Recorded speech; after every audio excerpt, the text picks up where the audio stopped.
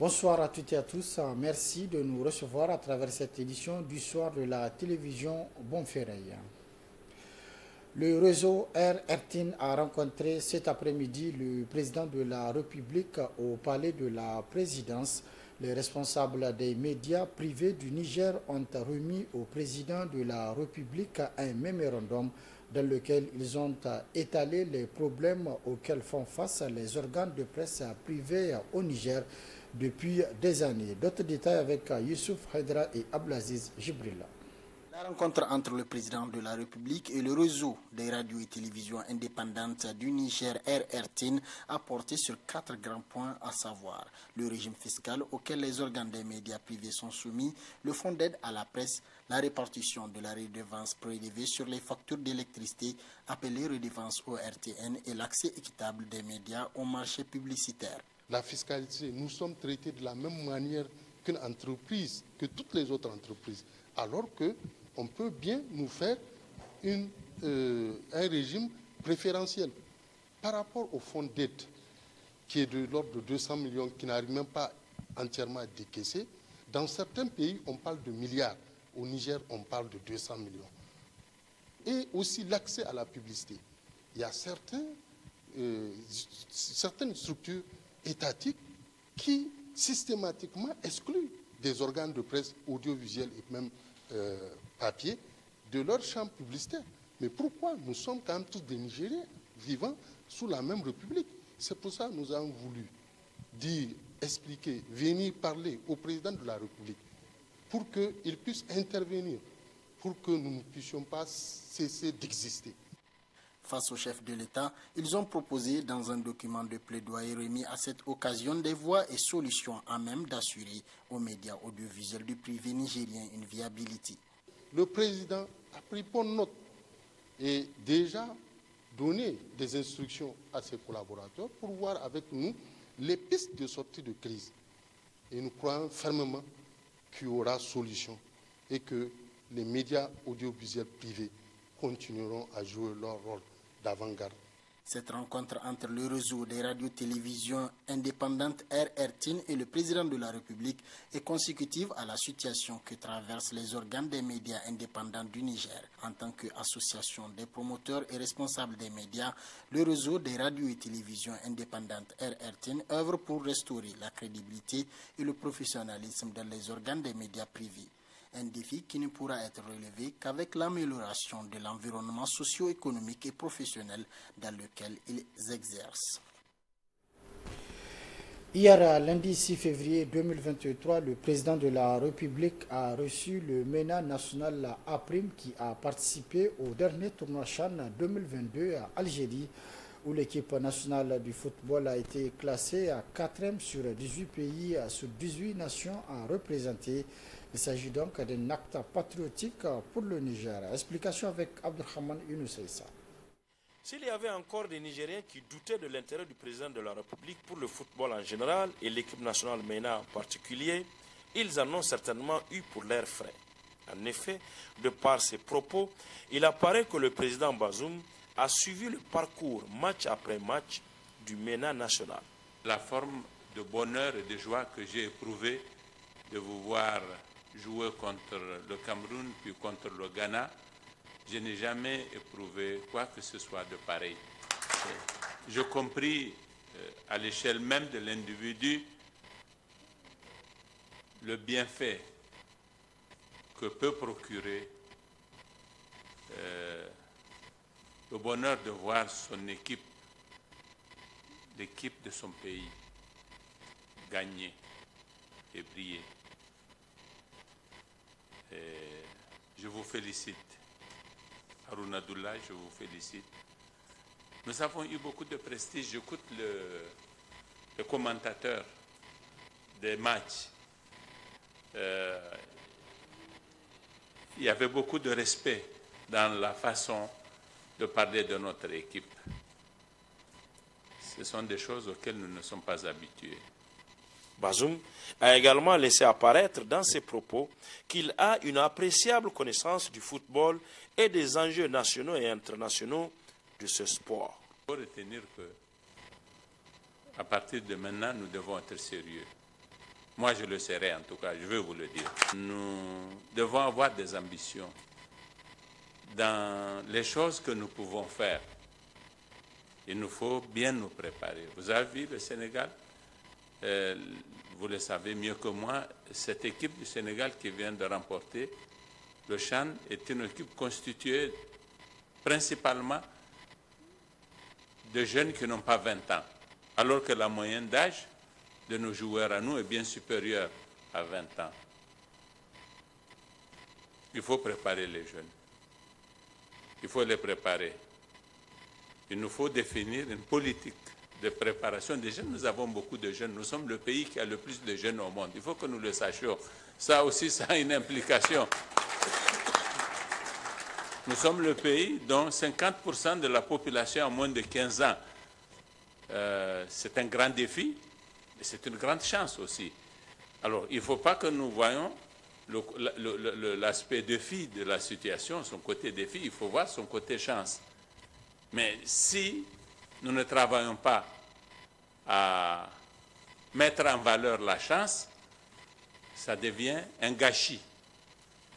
Et en ce moment, on est confronté aux effets négatifs de la situation plutôt que de tirer profit de ce qu'elle peut nous promettre. De par sa propre analyse, le président de la République s'est fait sa propre conviction, celle d'un Niger gagnant sur tous les stades du monde. Et c'est possible. C'est ce que font les autres, nous allons faire comme eux. Nous aurons suffisamment de ressources pour faire le football. Nous donnerons les ressources à la mesure de ce que nous possédons. En tout cas, s'il s'agit de faire en sorte que nous soyons compétitifs parce que nous avons promu beaucoup de jeunes et que nous les avons pris en charge très tôt, c'est des choses à notre portée, ça. Ce n'est pas au-dessus de nos capacités. Et nous avons des atouts. Et faire en sorte que les Nigériens se passionnent du football, qu'ils soient dans les stades, que nous organisions différemment nos clubs. Nous allons consacrer le temps qu'il faut à la réflexion nécessaire pour que nous repensions l'organisation de notre football. Nous puissions, déjà nous, on va soutenir cette équipe, on va soutenir ce qu'il y a sur place, mais nous allons investir dans l'avenir. C'est ça ma vision. En recevant le Ménachan en personne au palais de la présidence, Bazou Mohamed transmet ainsi un message à double sens. Le premier, montrer la fierté et la reconnaissance des Nigériens pour le parcours historique malgré tout réalisé par l'équipe à ce tournoi, avec humilité, courage, abnégation et don de soi. Et le second sens du message, c'est marquer l'engagement et la volonté présidentielle de soutenir le sport en général, mais le football en particulier comme un vecteur de développement tout court. Une rencontre directe sobre, mais solennel et plein d'émotions, tel un père et ses enfants. Reste au papa à présent de tenir ses promesses. Le président de la République a procédé ce matin à l'ouverture du premier forum business, forum Union européenne Niger, une rencontre d'affaires qui a réuni plus de 400 participants au Niger et durera deux jours. D'autres précisions dans ce compte rendu. C'est près de 500 participants, dont plus de 400 entreprises de l'Union européenne, du Niger et de la sous-région, qui sont à Niamey pour la première édition du Business Forum, l'une des plus importantes rencontres d'affaires de l'histoire économique du Niger, fruit de l'engagement commun des autorités nigériennes et de l'Union européenne. L'événement constitué à bien des égards une étape importante dans les processus de relance et de, dynamisation d'une coopération commerciale et d'investissement fructueuse et profitable aux deux parties. Si cette étape matérialise les progrès accomplis, elle reste à être soutenue par les plus hautes autorités afin que nos relations soient plus solides et durables dans la droite ligne des objectifs du plan de développement économique et social 2022-2026 présenté à la dernière table ronde de Paris qui a connu un réel succès. Que mon désir ardent est de voir euh, tous les participants pleinement impliqués dans les panels afin d'avoir un éclairage sur nos potentialités et les avantages qu'offre notre pays pour faciliter le développement des affaires et ouvrir la voie à des partenariats gagnant-gagnant. Partenaire stratégique de l'Union européenne, le Niger et l'Union européenne entretiennent des bonnes relations de coopération dans plusieurs domaines, reconnus et réaffirmés ici par l'ambassadeur de l'Union européenne au Niger. Le Niger reste un partenaire de choix pour l'Union européenne, stratégique, c'est le voisin de notre voisin, c'est la rive sud de la Méditerranée.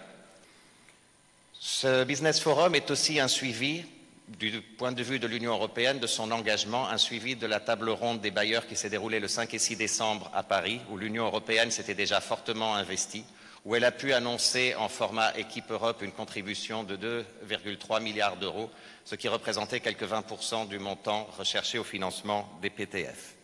Le chef de l'État Bazoum Mohamed, dans son discours d'ouverture, a beaucoup insisté sur la nécessité d'une parfaite coopération entre le Niger et l'Union européenne avant d'inviter les acteurs à plus d'engagement pour booster les richesses économiques. Résolument engagé pour la construction de relations économiques privilégiées, le Niger et l'Union européenne, au travers de ce Business Forum, entreprennent de formuler avec clarté une vision commune pour les années à venir. Un cadre législatif et réglementaire propice aux investissements est une condition sine qua non et le lieu de l'épanouissement de ces relations. Co-organisé par la délégation de l'Union européenne au Niger et le ministère en charge du commerce, sera une occasion pour renforcer le partenariat économique entre l'Union européenne et le Niger, mais aussi de mobiliser des investissements privés dans les secteurs prioritaires au Niger en présentant les opportunités d'investissement offertes aux investisseurs nigériens de la sous-région et européenne. Plusieurs partenaires du Niger dans divers domaines sur la tribune ont salué l'excellente coopération entre le Niger et l'Union européenne et réaffirment leur engagement à travailler, coopérer et collaborer, mais aussi d'aider le Niger à relever les défis.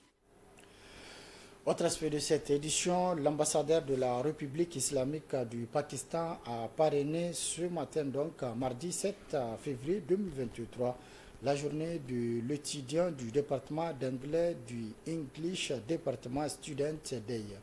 D'autres détails avec Aminata Yayamega et Rabi 7 février, date symbolique pour les étudiants du département d'anglais de la faculté des lettres et sciences humaines de l'université Abdou Moumouni de Niamey. Placé sous le thème English Language as sine qua non for career development, cette neuvième édition a regroupé le club d'anglais de la faculté, les étudiants et les différents partenaires. Euh, il est de tradition pour euh, les étudiants de chaque département chaque année, ils prennent une journée pour célébrer leur journée. C'est dans ce cadre que nos étudiants célèbrent aujourd'hui leur neuvième journée pour parler du département, pour parler des différentes opportunités qu'offre une formation en anglais, pour parler des différentes activités, etc. etc. Donc c'est dans ce cadre que cette journée est en train d'être organisée aujourd'hui. Plusieurs allocutions faisant éloge des avantages et opportunités qu'offre la langue anglaise ont été formulées par les différents intervenants. Langue internationale, la langue anglaise est non seulement un moyen de communication, d'échange, mais surtout un outil indispensable à cette ère de mondialisation une langue qui intervient dans les négociations politiques, le commerce, les transactions, le déplacement et bien d'autres secteurs, d'où l'importance de son apprentissage. Partenaire privilégié de cette activité, l'ambassade de la République islamique du Pakistan au Niger, à travers son ambassadeur, a apporté son soutien indéfectible au club d'anglais de la faculté, tout en leur prodiguant des conseils et encouragements